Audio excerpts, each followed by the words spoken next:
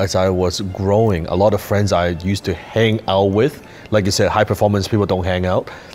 I, I can like none of the friends I have today are the friends I had before because they just don't get it or they were not comfortable are being around me and we we have nothing in common right uh, and like I said it's it's like are we saying that you need to get new friends yes we are saying that you, you need to get new friends it's very very true okay another way of looking at it Bill Gates Steve Jobs and Elon Musk do not go to this oh Steve's gone do not go to the Super Bowl yeah they do not go to the World Cup yeah. They do not go to the World Series. Yeah. You do not see them at the NCAA uh, basketball championship. They don't go. Mm. They don't hang. Mm. They don't chill. Yes. Zero. Warren Buffett does not hang or chill. True. Well, we were in Verona, Italy, uh, uh, taking the Orient Express, Sally and I, last year and we uh, climbed up to some Roman uh, ruins that had a, a, bar and a restaurant. Mm. 45, 50 minutes later, mm. we still uh, are sitting there. And so Sally says, I think now you know you, you've chilled for the first time in your life. And I go, why? We've waited 45 minutes to order a drink. Is that what chilling is? and, uh, and, uh, and, are we the only ones complaining?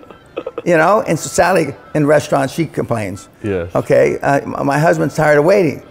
And so I've chilled once in the last 10, 15 years, yeah. waiting for a glass of wine in Verona, Italy, on a, on, on, a uh, mountaintop. They don't do any of that stuff. Yeah. They work. They work. They work on New Year's Eve. They work on uh, Christmas Day. They, the, um, they just work. But it's not work to them. It's, it's not, not, work to us. It's, it's our enjoyment. Yep. It's our enjoyment. And uh, the uh, and, it's and, not even passion. It's almost like an obsession. Correct. I, I, don't think passion is a strong enough word yeah. because you are thinking about what you do all the time. 24 7 it's 24 7 right? I have now my my gray hair right, from here just from thinking about things right? I went to bed last night at 10.30 of course i'm, uh, I'm mm. on a different time zone and then i woke up at 3.45 uh, mm to write down some because I was thinking about this interview. Mm. Write something down on a piece of paper. I mm. sleep with a pad next mm. to me uh, that I, uh, I wanted to make sure I covered, uh, and the. Uh, but I'm always thinking about it. It's like the seminar, which I could give in, in a coma dead. Uh, the uh, I practice at least one hour for every hour. So if the seminar is 60 hours, I practice at least one hour. Mm I go through all the 2,000 slides. I go through all the templates. I go through all the processes, procedures, and system. Mm. Every single one of them, even though I can probably do a half sleep. You can. Yeah, you I could. You know, it, it's sure. uh, and I do it over and over and over. Mm. Uh, the, the, trick is when we make a change, because we make changes every seminar. Mm. Because it's the best, the best practices. One of the kids out there may have figured out a way to get a slightly better rate of return, and we make that change. Mm. So, other than those four or five changes we made uh, in the last couple seminars, those are the ones I have to relearn. Mm. But other than that, I mean, I, I have memorized 2,000 slides. Mm. I know which slide's coming up next, you know? And occasionally when I answer a question. I'll get off track, I'll get ahead of my, oh, I'm four slides ahead now. You know, and, and four slides later, and it, it'll come up. Um, but one of the biggest challenges the kids have today, the snowflakes, as we were just describing them earlier, is work-life balance. There is no work-life balance. No, work okay, balance. Uh, Jack Welch said it much better than I do. He says there's work-life choices and they have consequences. Mm. There's work-life choices and they have consequences, and but there is no balance for sure. You know. The most epic event of this century, the Oscar for high ticket closers, closers in black, 2019 the $50 billion man, Dan Peña, the king of high ticket sales, Dan Lok. Get your ticket today.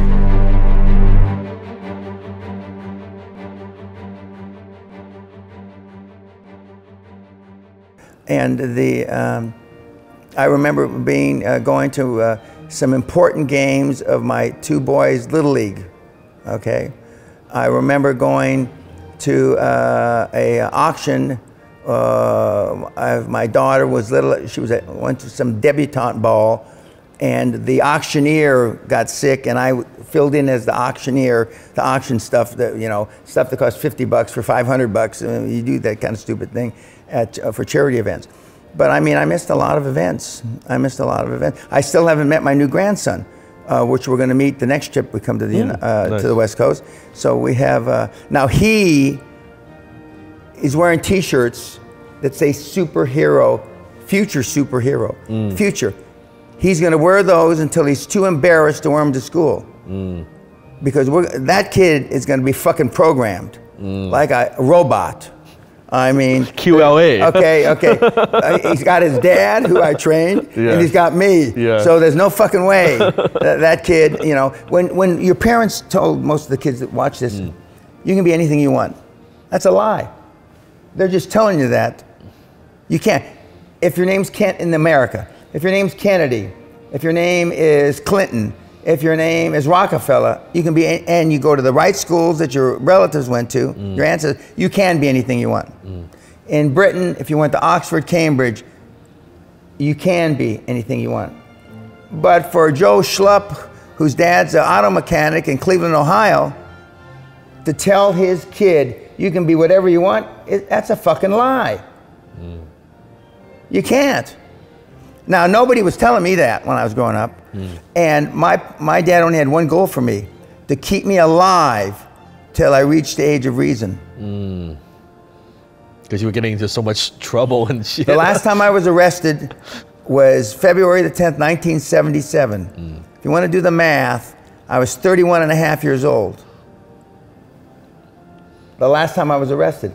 Assault with a deadly weapon on a policeman.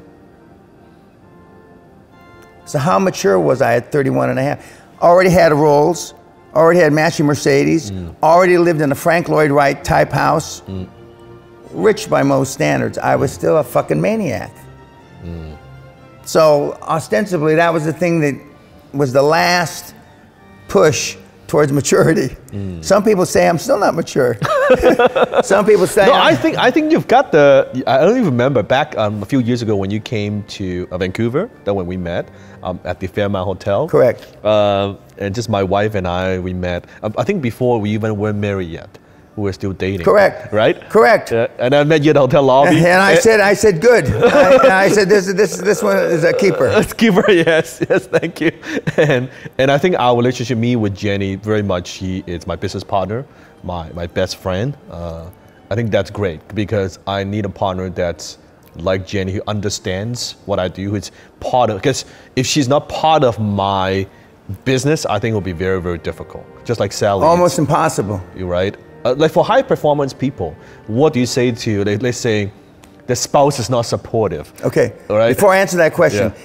I was here for a wedding. I was staying at that place, and um, we rented a plane. It was on some little island out Oh, there. yeah. We were the only. Sally and I were the only two that showed up in a private plane. Yeah. I guess you, there's a ferry you can take. Yes. Okay. Yes. And uh, the, was, and so we, we flew in, and we whatever the the biggest room or cottage or whatever we stayed in, and so uh, we were separated, and I'm like, everybody be over there having a drink, and Sally and I be sitting here by ourselves. They're the ones that flew in on the plane. Now, getting back to whether your your spouse is supportive or not, I, I hate to be the bearer of bad tidings, but there's almost no way of it making it. I agree. I mean, you're just you're living in a dream world. You're delusional. Again, what are you smoking? If it's not addictive, give me some, because I want to be able to hallucinate like that. It just isn't. Uh, it's not possible. Uh, the best uh, scenario, uh, which you uh, just described, is when they're part of it, they're supportive of it, and they they understand uh, and they've lived through the growth cycles. Because all the cycles aren't going to be up. Some of them are going to be down. We've gone through some some tough times together. Yeah. Correct. And, and the more scar tissue you, build together, the better off you're going to be. Um, but most kids get married for the wrong reasons. Most kids have kids for the wrong reasons.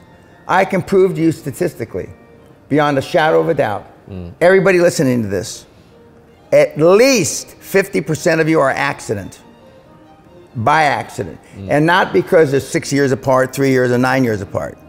Okay.